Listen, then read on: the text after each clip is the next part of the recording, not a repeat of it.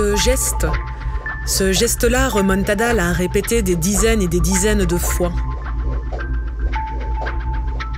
Zapper, zapping, zappette. Geste de la télécommande. Geste de la consommation.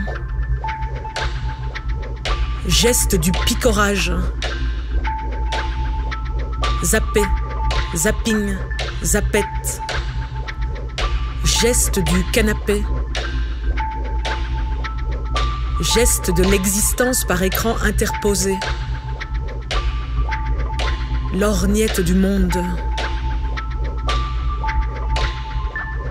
Ce soir, Remontada zap, zap et finit par tomber sur un concours de Miss.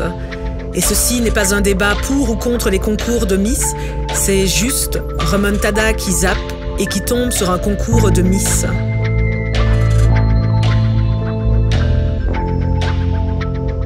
Voici qu'arrive, après le défilé en robe de soirée et le défilé en maillot de bain, voici qu'arrive le moment tant redouté des questions de culture générale, où la seule esthétique ou la seule plastique ne se suffit plus à elle-même.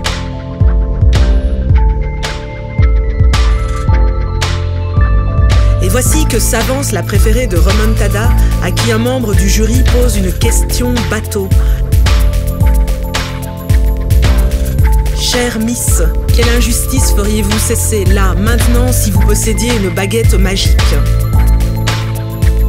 Et la préférée de Remontada, au lieu de faire comme toutes ses concurrentes, au lieu de lancer une réponse bateau à cette question bateau, la préférée de Remontada reste bouche bée.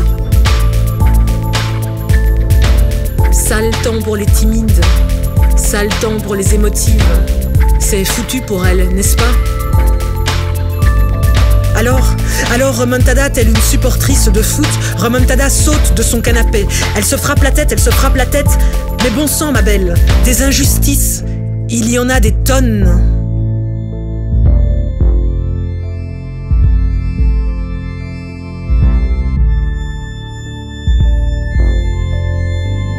Ne pas pouvoir choisir ses parents, c'est injuste. Ne pas pouvoir choisir son pays de naissance, c'est injuste.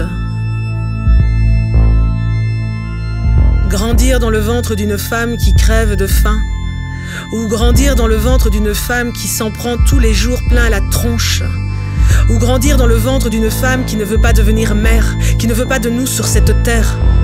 C'est injuste.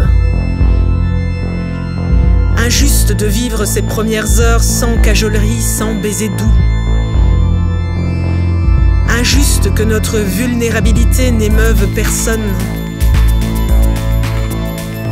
Injuste que notre naissance coïncide avec la fin d'un couple. Injuste de naître sous des bombes. Injuste de naître derrière des barreaux. Injuste de naître sans papier, de naître avant de naître.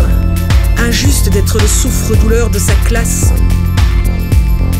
Rien que dans l'enfance, rien que dans l'adolescence, nous pourrions déjà lister des milliers et des milliers d'injustices pour cette Miss, mais cette Miss reste muette, complètement tétanisée par le stress.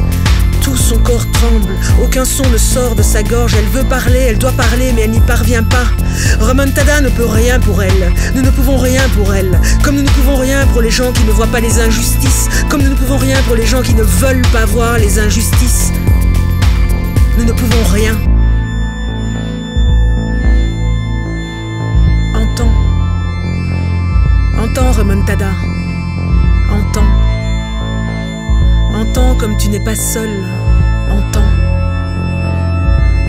Le public présent aujourd'hui te soutient, te comprend, et entonne avec toi et entonne avec moi ce mot.